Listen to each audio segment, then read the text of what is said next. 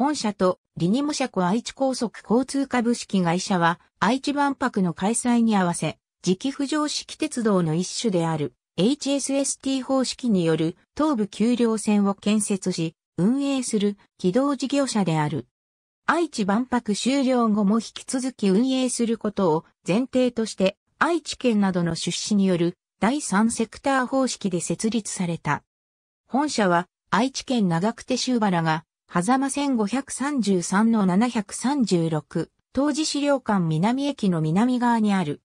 利用者数は低迷し、万博終了後、東部丘陵線の利用は当初予測の半分程度にとどまっていたが、その後の利用者数は年々増加し、2017年度には8割程度にまで増加している。営業収益は2006年3月期は愛知万博の影響により4670-100万円あったものの、2007年3月期は90300万円、2008年3月期は1、05-200万円、2009年3月期は1、09-400万円と低迷している。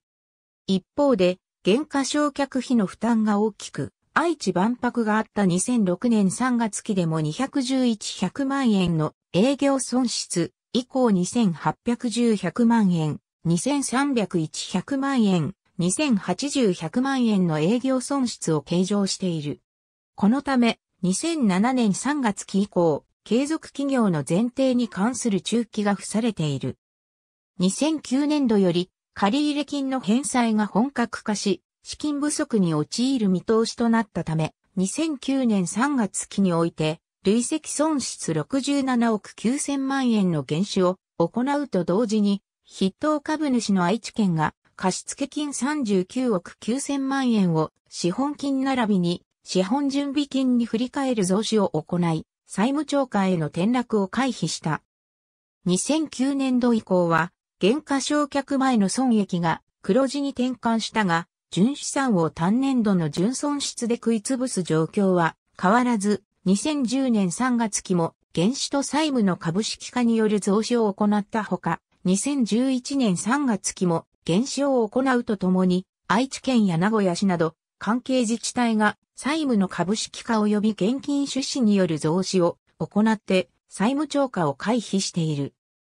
2016年12月、沿線の大規模商業施設の開業で定期外利用者が増加し、定期利用者も通勤定期が増加したことで、輸送人員が817万8000人と前期を大きく上回り、営業利益、経常利益それぞれ2期連続の黒字に、当期純利益は会社設立以来初めての黒字となった。2010年5月7日、愛知高速交通は名古屋鉄道から出向していた従業員が約8916万円を横領していたとして愛知県警に被害届を提出した。同年12月27日に、当該従業員と出向元の名古屋鉄道に対し、損害賠償を求めて提訴した。2013年5月8日、名古屋地方裁判所は、当該従業員に損害の全額を名古屋鉄道に対し損害のうち2分の1について、当該従業員と連帯して弁済することを命じる判決を下したが、愛知高速交通はこれを不服として5月21日に名古屋高等裁判所に控訴した。名古屋高等裁判所は2014年2月13日に同様の判決を下し、今度は名古屋鉄道がこれを不服として同年4月21日に最高裁判所に上告したが、2015年2月19日に不受理とされ、訴訟は終結した。事件後、銀行員を上司が保管する会計監査人の監査を毎月受けるなどの管理体制の強化を実施した。